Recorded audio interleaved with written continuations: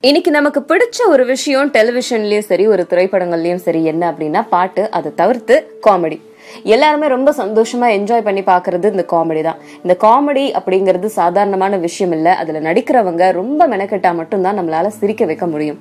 அப்படி நம்மள சிரிக்க வச்சு சந்தோஷப்படுத்துற காமெடி நடிகர்கள் காமெடி செய்யறதுக்கு முன்னாடி என்னென்ன செஞ்சுட்டு இருந்தாங்க அப்படிங்கறத நம்ம பார்க்க போறோம்.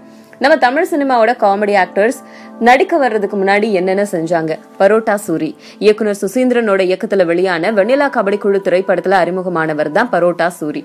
இவரோட பரோட்டா காமெடி சூப்பர் ஹிட் ஆனதுனால தான் பரோட்டா அப்படிங்கிறது இவரோட அழைமொழியா மாறிடுச்சு. இவர் சினிமால நடிக்க வர்றதுக்கு முன்னாடி சொந்த ஊர்ல பால் ஊத்துற வேலை செஞ்சுட்டு இருந்திருக்காரு. அதுக்கப்புறம் சென்னைக்கு வந்த பிறகு பெயிண்டிங் வேலைகள் கலை இயக்குனர்கள் கிட்ட செட் அமைக்கிற வேலைகளை செஞ்சிருக்காரு. அடுத்தது நடிகர் சுசீந்திரனோட அழகர் சாமியின் குதிரை திரைப்படத்துல நடிகராகவும் ஹீரோவாகவும் நடிச்சவர் தான் தேசிய விருது பெற்ற அப்புக்குட்டி.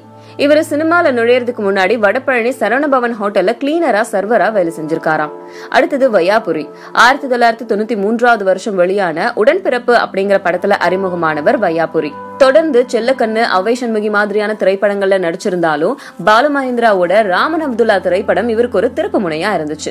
சினிமாக்கு வர்றதுக்கு முன்னாடி காமெடி ஆக்டர் வையாபுரி எக்மோர் வசந்த பவன் ஹோட்டல்ல சர்வரா வேலை செஞ்சுட்டு இருந்தாராம். திருமண விழாக்கள்ல சமையல் வேலைக்கும் போவாராம். அடுத்தது முண்டாசுப்பட்டி முனிஸ்காந்த் அப்படிங்கிற பெயரால அறியப்படுற ராமதாஸ் நடிப்புல பெரிய ஆளா ஆயிடணும் அப்படிங்கிற ஆசையில சென்னைக்கு வந்திருக்காரு. இவர் முதல் முதல்ல கமிட் ஆன திரைப்படம் சவாரியா இவர் நடிக்க வர்றதுக்கு முன்னாடி சின்ன சின்ன குறும்படங்கள்ல சின்ன சின்ன வேடங்கள் ஏற்று நடிச்சிருக்காரு. பல நாட்கள் வேலை இல்லாம சென்னை பிளாட்ஃபார்ம்ல படுத்திருந்திருக்காராம். அடுத்தது ரமேஷ் திலக். மங்காத்தால பெயரிடப்படாத பாத்திரத்திலையும் மெரினால கொரியர் பாயாகவும் நடிச்சிருந்தவர் தான் ரமேஷ் திலக். இதுக்கப்புறம் சூதுகவும் திரைப்படம் இவருக்கு பெரிய ஒரு திருப்பு முனையா இருந்துச்சு. அதுக்கப்புறம் பல விஜய் சேதுபதி திரைப்படங்கள்ல இவரை பார்க்க முடியும். சினிமால நடிக்க வர்றதுக்கு முன்னாடி ரமேஷ் திலக் ஒரு பிரபல வானொலி நிலையத்துல ஆர்ஜேவா இருந்தவர்.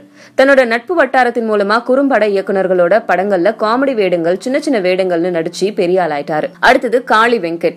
மிர்ச்சி சிவா மற்றும் எஸ்பிபி சரண் நடிப்புல வெளியான வாக் வாட்டர் கட்டிங் திரைப்படத்துல அறிமுகமானவர் தான் காளி வெங்கட். இவர் தொடர்ந்து மௌனகுரு தடையற தாக்க கலகலப்பு அப்படின்னு பயங்கர பிஸியான காமெடி நடிகரா மாறிட்டாரு. இவர் நடிக்க வர்றதுக்கு முன்னாடி காய்கறி வியாபாரம் செஞ்சு செஞ்சுட்டு வந்திருக்காராம். டீ கடையிலயும் வேலை செஞ்சிருக்காராம். அடுத்தது யோகி பாபு.